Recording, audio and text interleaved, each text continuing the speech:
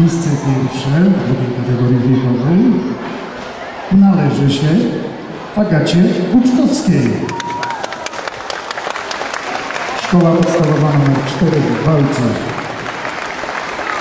Jest Agata. Fundatorem nagrody jest Zibi S.A., przedstawiciel w Polsce takich światowych marek instrumentów jak m.in. Casio Zibian, Latin Percussion, Gretsch, takim Ovation, Alvaro Casio, Petrów. Prezes zarządu Zbigniew Pietrzak, nagrodę wręczy brand manager Wojciech Andrzejewski.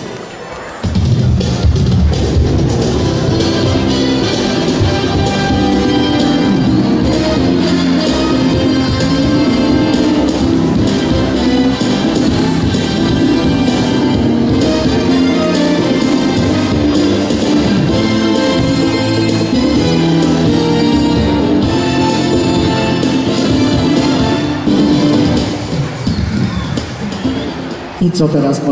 Szewarala. Oraz e, miejsce pierwsze w drugiej kategorii wiekowej śpiewała Agata Buczkowska. Piosenka z repertuaru Jednej Sukces pod tytułem A w parkach jesień.